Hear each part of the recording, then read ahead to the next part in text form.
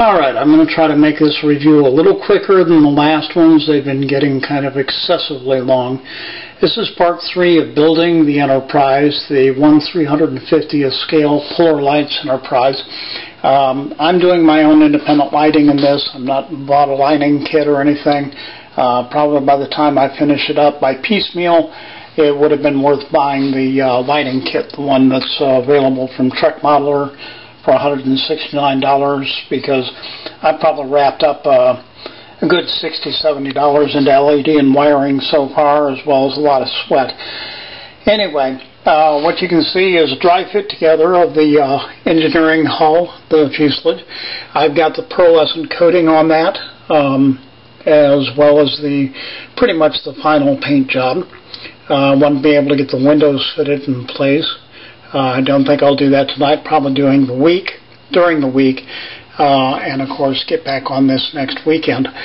Um, I do have the Arboretum and the uh, hangar bay uh, mounted to the lower fuselage and uh, ready to go. And uh, as you can see, I've removed the lights for the time being, but I have set in my flashing lights, or formation lights as they call them, um, beneath the uh, bottom of the hangar bay and at the very center of the lower fuselage.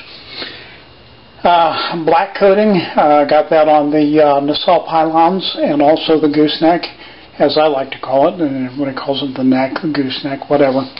Haven't figured out whether or not I'm going to cut the front of the gooseneck open. Um, it's blocked behind the um, photon torpedo bays and I was thinking about lighting those up. I'll just kind of wing that as I go.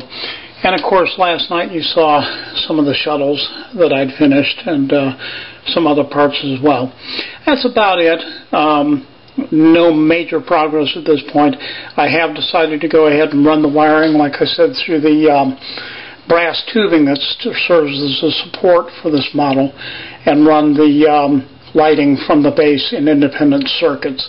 Have the flashing formation circuit on one uh, button and power source, the main uh, lights for the interior on another power source, and um, have the engine uh, nacelles and the um, impulse engines probably on another power source.